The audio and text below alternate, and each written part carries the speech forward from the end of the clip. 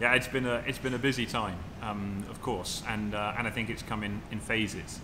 So of course, as we saw um, the virus emerge in uh, in Asia, um, uh, and we have property out in in Asia, uh, understanding how we would deal with, with, with that and the threat that it posed uh, there, um, and looking at it from from uh, here in Europe and um, both dealing with the with the issue out in, in Asia, ensuring the, the well-being of our team members and our guests um, and also, of course, the financial well-being, um, and trying to anticipate what the impact will be on business here in, in Europe and, of course, in our interest in the US. Um, so that, that really was the start of the process. Um, and I think as it becomes, or as it became uh, clearer, um, and, and the first cases here in Europe and, and the impact that was having, again, the focus really starts to be, okay, how do we ensure that the, uh,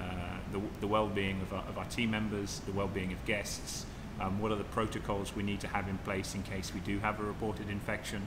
um, all of that uh, needed to be put into place. So really, look, it was a planning process um, to that end, and simultaneously dealing with the impact it has on our business. Um, huge amounts of cancellations, um, so processing those cancellations, ensuring that uh, as a company we were clear on, on, on our promise to our guests, um, demonstrating to them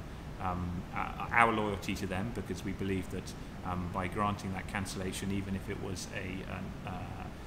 a non-flexible rate, um, that would generate and foster loyalty for us. That was a really important message. So processing those cancellations kept us busy. Um, and starting to understand um, uh, how, as a business, we were going to operate through a period where, where we had the prevalence of, uh, of COVID-19.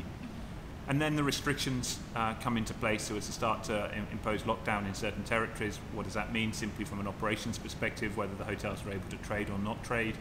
um, and, uh, and, and dealing with the consequences of that, dealing with the well-being again of the team members that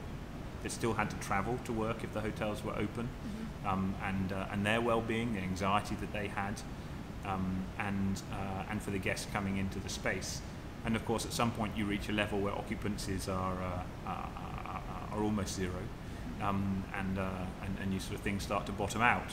Um, and at that point, really planning uh, actually for the future. Um, so starting to see what it was that uh, we could do differently, that we needed to do differently, um, both in the short term um, as when the restrictions were lifted and we'd operate, but actually also longer term in terms of you know the buzzword the new normal, um, what what that would look like and predicting that and how we could use the time when perhaps guests weren't in our business um, to accelerate development that we had in place so we could really come out that much stronger uh, and further differentiate ourselves from our competitors um, to give us that advantage as business started to come back. And that's really um, the phase that we're in at the moment uh, is the implementation of some of those uh, uh strategies um, to, to ensure that we, yeah, we, we uh, increase our competitive advantage.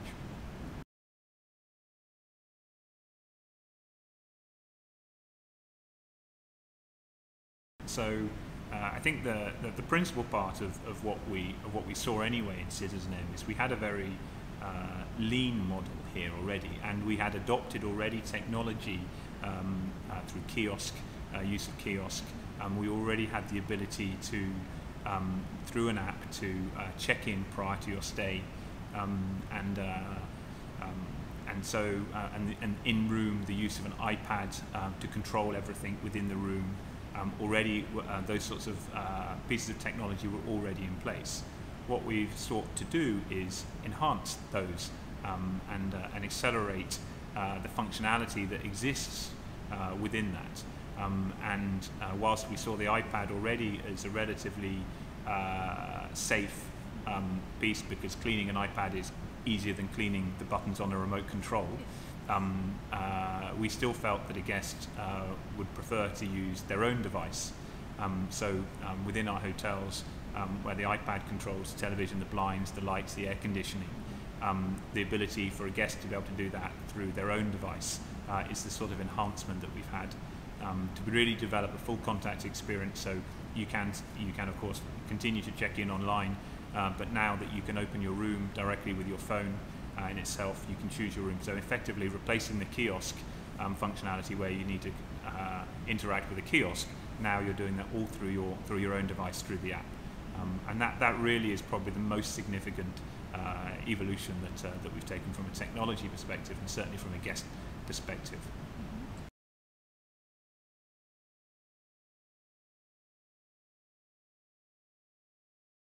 The main challenge is around uh, the technologies uh, that exist within a hotel. Um, and uh, very often those different technologies can be somewhat fragmented um, and how they uh, interact with one another um, is, is, a, is a puzzle. Um, and what citizenM has sought to do is, um, and again we had uh,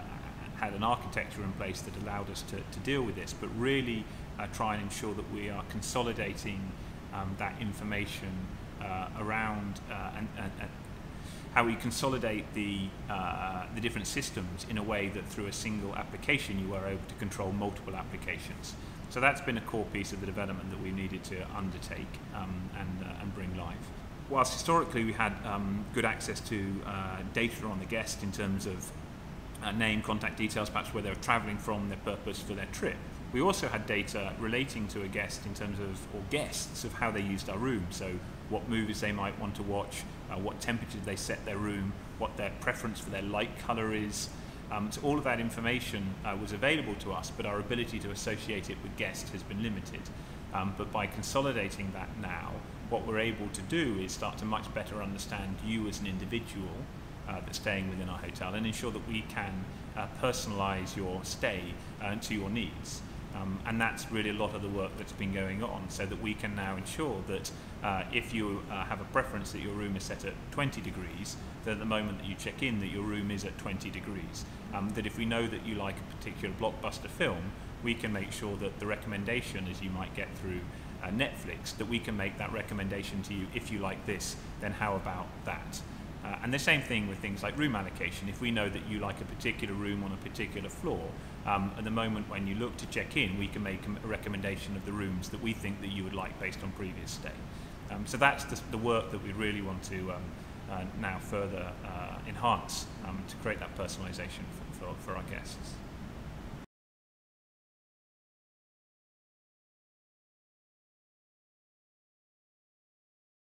I think citizenM has long positioned itself as a tech-forward company anyway. So I think that our position since we uh, we started the business in 2008 that tech is a, is instrumental to to progress. And I think you only have to look at the uh, ever-increasing adoption of technology through society to realise um, that, that we're on a on a particular trajectory. I think what we've seen in hospitality is it's been fairly slow um, uh, as an industry necessary to embrace that. Um, and not that's not necessarily through uh, a lack of desire to embrace it, but the nature of how hospitality is developed um, perhaps inhibits um, it to really uh, embrace technology effectively. Um, and I think that what uh, has happened over the last few months has uh, not has meant that companies no longer have a choice, or that actually there's such a call to action um, that they've forced to innovate and forced to push some of this stuff through. Um, and I think that that's, yeah, that's really been a catalyst. It's only um, served to speed up the, the, the speed of change. Um, and I think that there, there, perhaps has also been a, a certain reticence to em- engage with technology for the sense that it is not in itself service. Um, and what citizenM's position has always been, and I think um, I believe that this is um, now uh, being borne out, is that using technology to manage process um, and having people free to uh, engage with people is a really important combination. Um, so, so therefore we can use technology to remove friction from the experience. Um, we can use it to um, uh, yeah, compensate for, um, for having uh, people deliver that process. So you can end up with a much leaner workforce which promotes social distancing, where a guest in themselves is able to own their experience and feel comfortable in doing that. Um, and yeah, principally it's, it's, it's how you effectively blend. You can still deliver great service by human to human contact, um, where it is simply a question of making someone feel better about themselves or, or a genuine human connection, um, and where technology then manages the process that might be a check in or um, getting into your room or getting your key. All of that stuff for us is, is a process um, and isn't what fundamentally builds uh, deeper relationships.